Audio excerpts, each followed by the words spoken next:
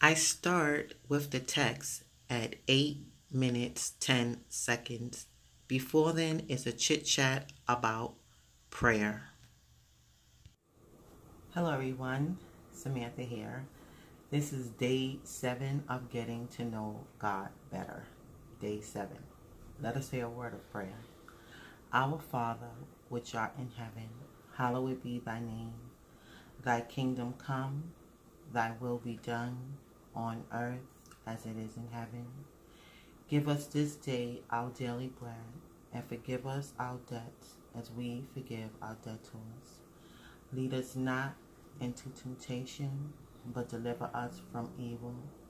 For thine is the kingdom, and the power, and the glory, forever. Amen. So, if you notice, the past couple of days, I have been opening up with prayer. And um, I wanted to share this, but the Lord wasn't releasing me to share it. But I'm going to share it now because I do feel at peace with sharing it. Um, I've done a lot of prayer journaling and, um, you know, in previous videos. And out of nowhere, I started being attacked about praying on praying um, on camera and as if I was praying to be seen. I'm not going to go into the details of that, but what I started doing was just like I always pray and pray off camera. So I don't have a need to come on and pray on camera. And if I did because of what people might think, then I will be going into praying to not be seen.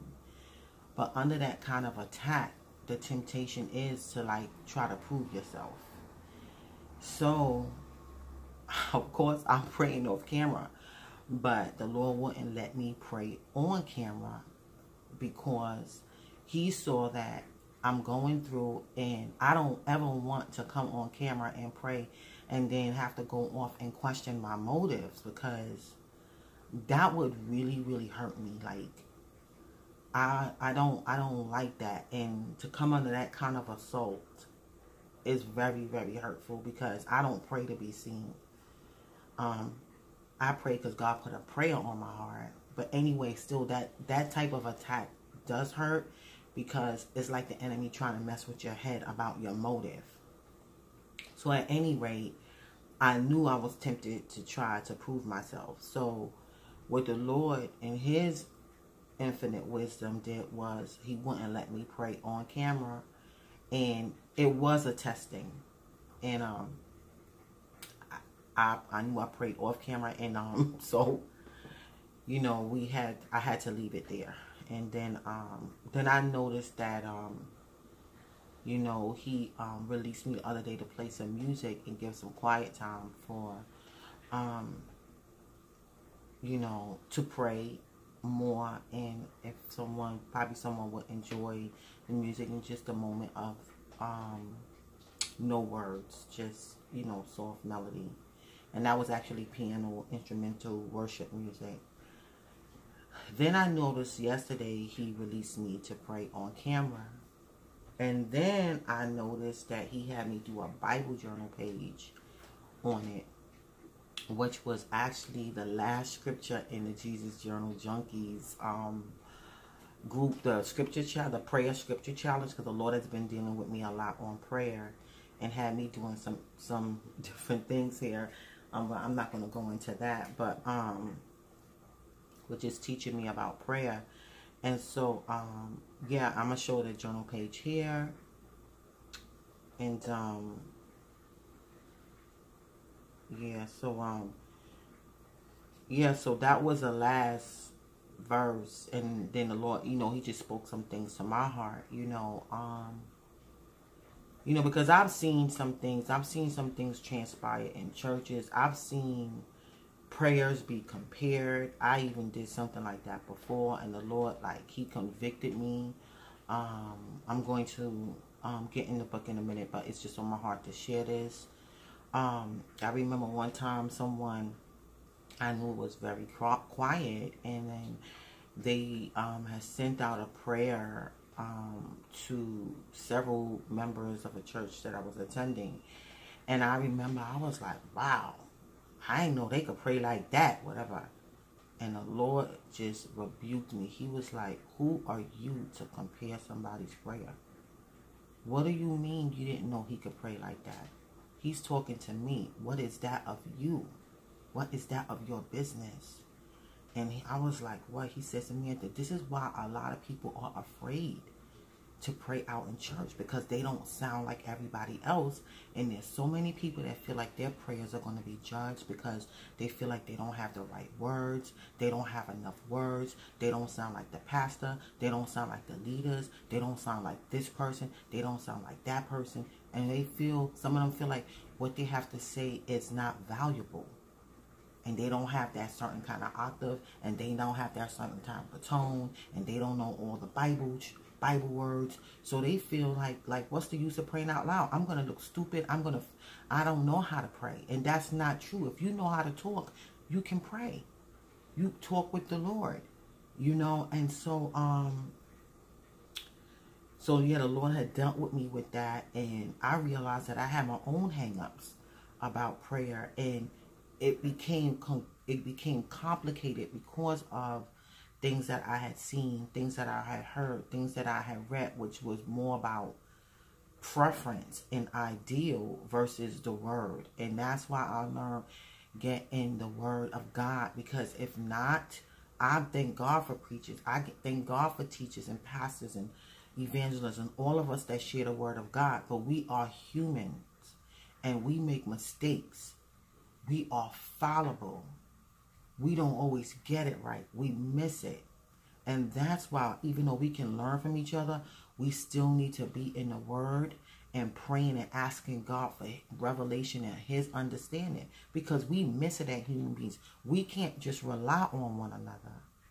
With that being said, I'm going to go into the text. And this is the first day, day seven, I sort of didn't want to share. And I kind of didn't want to share it because there was so much in the insights that I did not agree with.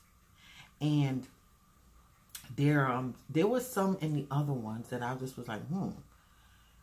But when it came to the word of God, I agreed with it. But when it came to the Christian writer, I cannot say that I agree with everything. And it's okay. We do not have to agree with everything with each other or everything someone says.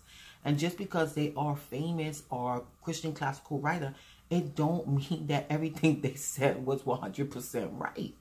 They were the ones that went on to be with the Lord human, or human, like.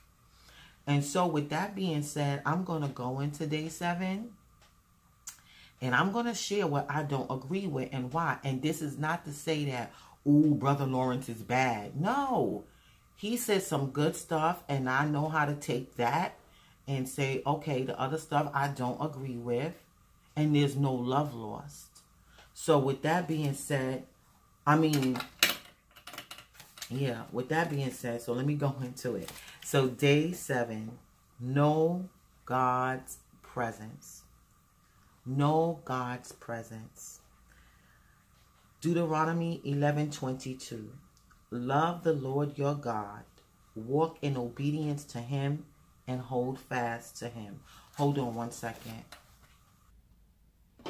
Okay, so I'm going to read that also in the the King James because that was the Deuteronomy, the um Deuteronomy. That was the um the NIV version. So 1122.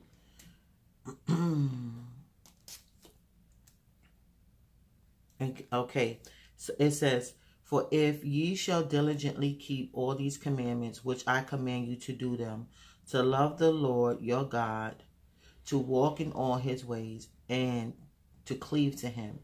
And then it goes into verse 20, 23. Then will the Lord drive out all these nations from before you, and ye shall possess greater nations and mightier than yourselves. But for knowing God's presence, they use the parts of the verses love the Lord your God, walk in obedience to him, and hold fast to him. so here is the insight. And like I said before, I don't necessarily agree with everything he said. And then again, it may be a play on semantics, the way people use words. Sometimes the connotation, um, there are different connotations across different contexts. And then it's like, wait a minute here. But then if you were actually able to talk with the person and sometimes dialogue with them and have that discourse, sometimes you'll see that you're saying the same thing but in a different way, or the person is using that word in a different way. So, um, in all fairness, I had to come to that level of maturity by God. Like, you know, if you can't have a dialogue with a person, sometimes you're just taking what they said exactly where it say, and there's no expounding on their behalf, and then you could be really misinterpreting their heart. So, anyway, so practice in the presence of God. Then he writes, which is very, I think is very respectful in my opinion. He writes, This is, in my opinion, the essence of the spiritual life, right? Practice in the presence of God. I feel that way too. And it seems to me that by practicing it properly, you become spiritual in no time. Now, right there, it could be a play on semantics. I believe that the moment a person says yes to Jesus, they become spiritual. They become born again. New life. Old things have passed away. They are new creation in Christ Jesus. So I believe they come, become spiritual at the moment. Those are with, one with the Lord are one spirit. Okay, so that person is spiritual at that point that they say yes to Jesus. I don't care if they're drinking, smoking, sexing around, cursing, or doing all kinds of whatever. The moment that they said yes to Jesus and they have a true conversion by the Spirit of God, they are spiritual. Now, spiritual maturity is a different thing. And I believe by practicing the presence of God, praying, spending time in His Word, with other Christians, fellowship, going to church, all the beautiful things that God, tools that God has given us for spiritual development, I believe the person becomes spiritually mature. But the moment of conversion, I believe they became spirit, spiritual. And that's in Jesus. Nothing, no one else, Jesus. I know that to do this, your heart must be empty of all things because God desires to possess it exclusively without first emptying it, it of everything other than himself. Neither can he act within it nor do there what he pleases. I fully disagree. Fully disagree. But I still love Brother Lawrence. I still respect him. I don't know. I believe he was um, Catholic. I'm not sure. But I don't believe what he said here because one, we come as we are to Jesus. If you're watching this and you're not saved, you can come to Jesus a hot mess, just as you are. You can't clean yourself. You cannot empty your heart. You cannot get yourself right before God do anything in you. Now, he is doing a work in us when we say yes. We can best believe every one of us that have said yes is because God did a work with us. It says, while we were yet sinners, Christ died for us. So that's why I have a problem with this. And again, it could be a play on semantics. But if I'm reading this, and to me, this is something that may could be glaringly misinterpreted. And I have to say for myself, not to show Brother Lawrence is wrong, but because I want to explain as a reader and sharing this that I don't agree with this. Okay? I don't believe we can empty ourselves. As a matter of fact, the Bible says if we confess our sins, he is faithful and just to forgive us and cleanse us from all, all unrighteousness. And this is throughout the journey in the walk with our Lord. So if we see something that is not good in our hearts towards a situation, towards a person or whatever it may be, that don't mean that God is not going to work in our heart. If we confess it, the Bible says if we confess it, he is faithful and just to forgive us. And we can be wholly his and love the God with all our heart and still have struggles. But the thing about it is he each and every day is working on us. He's dealing with us. He's shaping us and molding us and making us to bring us to that already expected in who he already sees us as and who we already are, but it's a process of a manifestation of that in our everyday life. And we are always on this journey with the Lord of spiritual maturity. We never arrive here. We're never going to be fully grown here like you did. I'm grown. You're growing. We're growing in grace, in the stature of the Lord, and in maturity in the Lord, in his knowledge, his love, his wisdom. So I believe that even with a person having all kinds of issues, and we have issues, we have struggles, he is still doing whatever he wants as he pleases in our heart. If you're not resisting the Lord, he's doing whatever he pleases. And even those that are his and he's resisting, God is still working. Even those that are resisting God, believe me, God could flip that in a moment. And not because he's not a gentleman, but because he loves us so much. He will pull someone from he will he will have someone escape something and it will be a rough pull but it will be the whole motive behind it will be all love and but we can go further into that. But yeah, I just need to say that. So then he writes, There's no way of life in the world more agreeable or delightful than continual conver- conversation with God. Yes, I love that part. Only those who practice and experience it can understand this. I do not suggest, however, that you do it for this reason. We must not seek consolation from this exercise, must do it but must do it from a motive of love and because God wants it. I don't know. I have a problem with that. I know the motive should always be love. And because God wants it. Yes, that's a definite. And we love the Lord. We say yes to him. His he's working in us, right? If a person is praying because they need comfort, and again, he may not have meant that. Maybe it's just that I have not dialogued with him. And I think if I was, if he, if we were face to face and he said this and I had the opportunity to ask him, I would say, what do you mean by that? I would give a question. I, I, I can't, because I, I see that, well, maybe because he said that, but it's something else he means. And I just can't, I'm not understanding exactly what he meant. You understand what I'm saying? He said, I do not suggest, however, that you do it for this reason. I would say, like, what do you mean by that? Because I still feel unclear about that statement. We must not seek consolation from this exercise. And I'm like, well, the Bible says that God is our consolation, you know, and the Holy Spirit is a comforter. So are you saying that if you need comfort, don't go to God? Don't pray just because you need comfort? I mean, if I need comfort, I'm going to pray. I don't need to worry about loving God because I already do and he already lives in me. So, you know, see, that right there lends itself to some further conversation. But I don't, I can't talk with him. So I just need to not, I need to say, well, I don't agree with that and just move on. But I don't need to like, um, you know, mess him, um, try to, to try to trash him so to speak. I want, I, by the grace of God, I don't want to do that. And that's, I'm being very clear as I share this because this is the first time I'm going more in depth on whether I agree or disagree with the classical writer. So he writes, if I were a preacher, I would preach nothing but the practice of the presence of God. He says if he was a preacher, that's what he would do. And if I were a spiritual director, I would re recommend it to everyone, practicing the presence of God. And he said, that's if he was a preacher, that's all he would preach. Now, I will preach that, but that's not the only thing I will preach. But that's his prerogative to feel that way, right?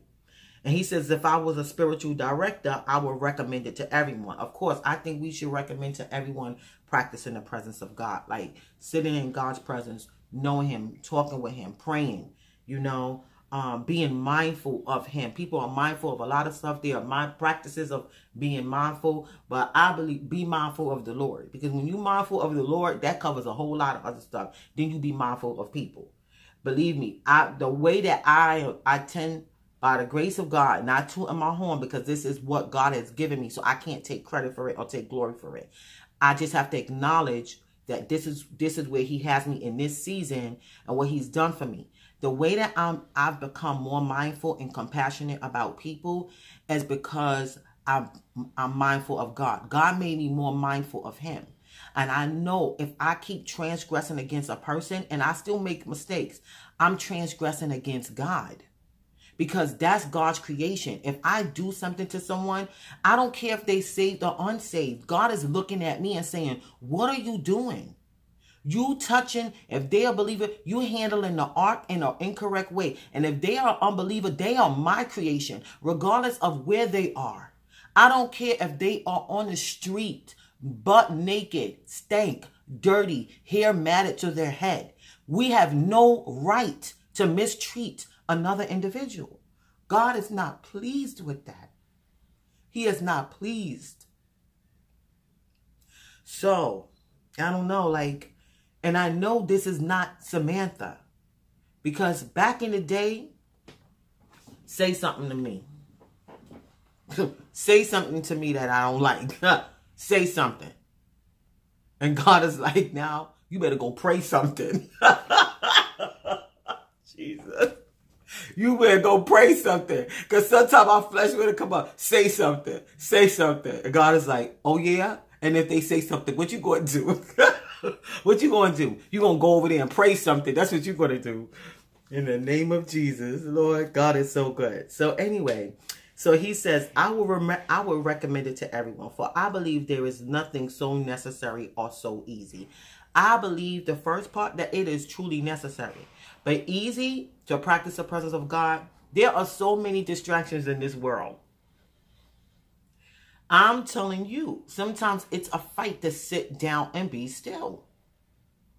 But I will say this the more I believe, and I've experienced this, the more I enjoy God's presence, and then there's also certain things that transpire in life, it makes you.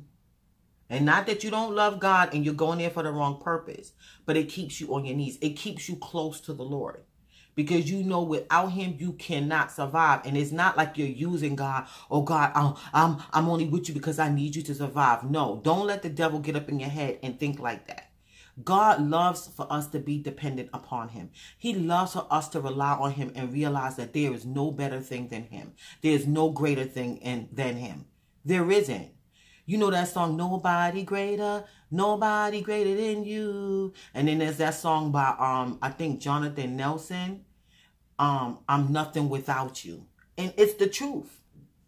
So anyway, but I do I don't believe it's that easy. I believe there is a warfare to keep us from praying, to keep us from being mindful of God and practicing his presence. But he is able. He is faithful. He is it there's a scripture it says God works in us both to will both to will and to do his good pleasure. Meaning the desire for us to do it is not even of us, it's born of him. And then when we do it, that's him. He works in us both to will and to do his good pleasure. Glory to God. Sorry about the dog barking in the background. Neighbors upstairs having like a, dog, a little doggy. So this is the devotion I have practiced since I entered religious life. Now, I don't call it religious life. I call it faith.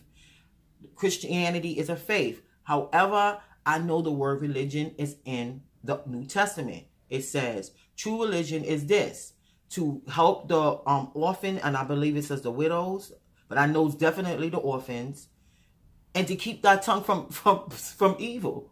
The Bible said that's true religion. So I'm like, okay, like that word religion gets a lot of beat up session, but it's there in the New Testament. But however, I also say the Christian faith. I don't say that we are a religion, but God, but in the Bible, it does say true religion is to to help the orphans. And don't don't quote me on this. I'm gonna try to put the scripture up when I um upload the video. And um to to oh to keep us keep keep um oneself abstained from the world. To keep thank you, Lord, to keep oneself abstained from the Lord. So yes, from the world, not the Lord. Yikes. To keep oneself abstained from the world. Yeah, so yeah. So going back to the text, this is the devotion I have practiced since I've entered religious life, he says. Although I have practiced it feebly and imperfectly, I have too. I have nonetheless received many advantages. I certainly know this is due to the Lord's mercy and goodness. I agree. And this must be acknowledged since we can do nothing without him. I agree. So I know that was pretty long, but I think it's it's beneficial. So know God better. Here are the scriptures. John 14, 26. But the comforter, which is the Holy Ghost, whom the Father will send in my name, he shall teach you all things and bring all things to your remembrance whatsoever I have said unto you. That's John 14, 26. This is Psalm 16, 11. You make known to me the path of life. You will fill me with joy in your presence, with eternal pleasures at your right hand. Hmm. I want to read that in the King James Version.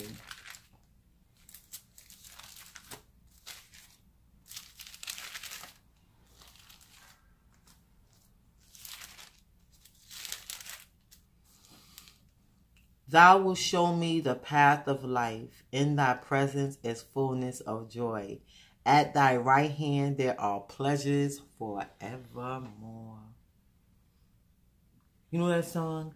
In his presence there is fullness of joy. In your presence there are pleasures forevermore. There is a place of perfect praise with manifold blessings in store. In your presence there is fullness of joy. Yeah, I don't have the tune all together, but the words is the truth, right? So, and the last one, Exodus 33 14. And he said, My presence shall go with thee, and I will give thee rest. Thank you, Jesus. So here are the questions. Think about it. Do you need to empty your heart of anything so that God can possess it fully? That question, I do have a problem with it. I believe God can possess a person's heart fully and they still be struggling with some things in their heart, but because we don't know everything about our heart, we just don't. We don't know. Now, can we say, I would say, you know, um, are you currently holding on to anything and not surrendering it fully over to God, giving God your heart fully. But we don't know. We don't know certain things about us until we are in a situation. And I believe God designed it like that because we can't handle everything. We that's too much for us. Our soul is so deep in the things about us as human beings. You know, we can't you know just imagine if you sat down and you told a person everything that was wrong with them in one shot would you do that to a child if you see that they had a whole bunch of struggles would you sit there and say well this is wrong with you. This is wrong with you. This is wrong with you and this is wrong with you. This is wrong. That child will feel so condemned and feel like there's no hope. Where do you go with all of that? I know there's some things that God showed me about certain attitudes and character flaws that if I would have knew maybe seven years ago, I would not have been able to handle it. I probably would have turned I probably would have turned my back on the Lord feeling like, you know what? I'm I'm a lost cause. There's no helping me because I'm just so messed up. So some things we don't we don't know now. And it's it's okay. But God knows when it's time. He, he knows when it's time to deal with that thing and to teach us the lessons that we need to be taught. He's merciful and he's compassionate. He has pity on us because he knows that we are but dust. He's not trying to bruise us. He's not abusive. He's not, he doesn't verbally and mentally and emotionally abuse us. He's a good, good father. He's a loving father. So he lets us see the goodness that he works in us. And he lets us see some things that we, you know, you need to repent of this. And by the grace of God, we can repent, confess it, repent, and he cleanses us from it. We move on, and then there's some other pruning that needs to be done to bring forth his fruit. Second question When you converse with God, is the motive of your heart one of love? When you converse with God, is the motive of your heart one of love? Is your life one lived in the presence of God? Is your life one lived in the presence of God? Excuse me. So this is by Ruth Haley Barton and it's called Invitation to Solitude and Silence. Invitation to Solitude and Silence. The the insight is an excerpt from there. Ruth Haley Barton. Solitude and silence are not self-indulgent exercises for times when an overcrowded soul needs a little time to itself. Rather, they are concrete ways of openness, opening to the presence of God. I like that. You know, sometimes we need solitude and silence. It's too it's a lot going on. And I know for myself, and I'm share make be a little bit more personal today. I'm like, I'm not an introvert, but I'm not an extra extrovert. Like I, and I don't like to, I'm not going to label myself that, but I can practice both ways. But I will honestly say, like, I like a more solitude and silence than I like being in crowds or being around a lot of people because I've learned throughout the years that one of the things that makes me a lot of anxious is crowds. And I don't know why it's like that. And I've prayed about it. But one of the reasons why I do know is because, let me just should I share this, Lord? Yeah, I, I could be a little bit more personal today.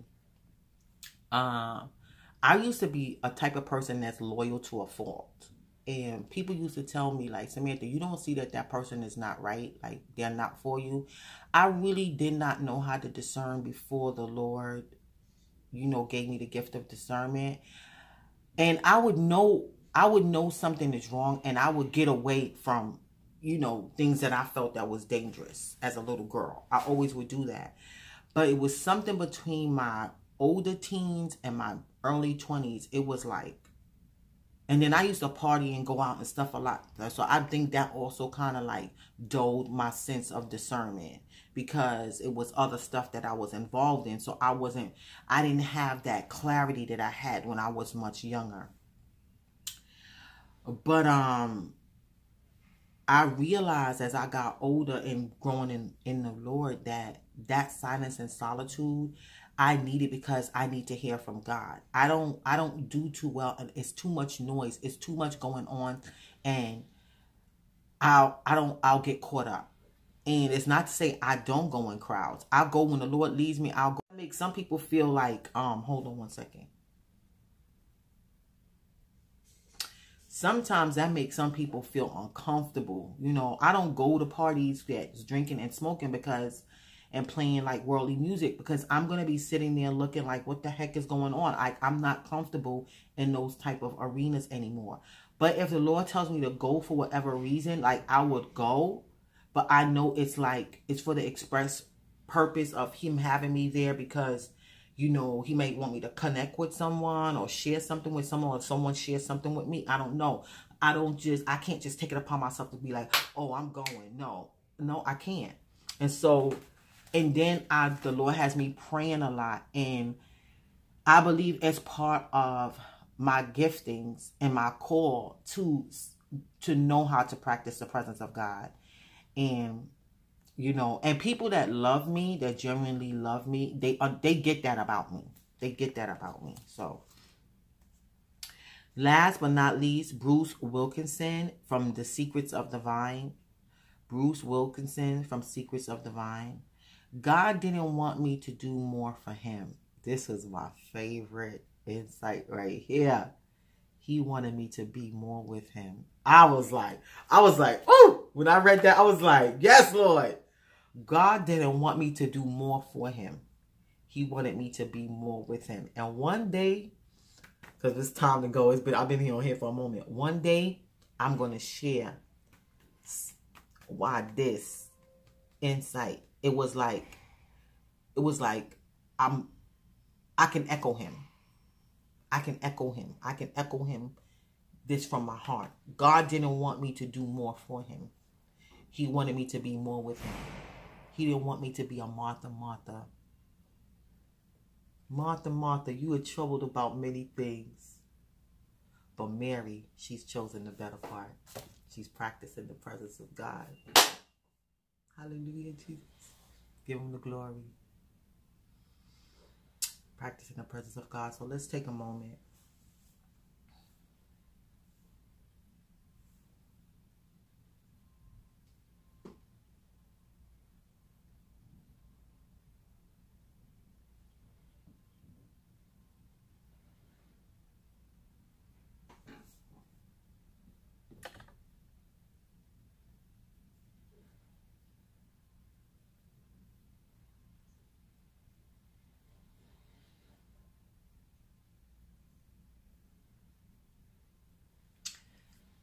Our Father, which art in heaven, hallowed be thy name.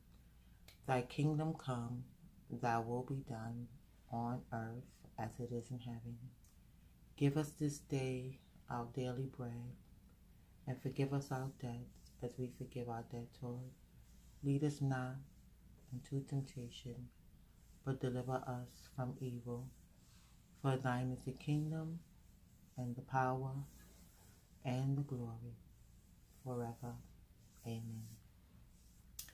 Okay, so that's it. I'm to say thanks for watching. God bless you. And remember, Jesus loves you. Practice the presence of God.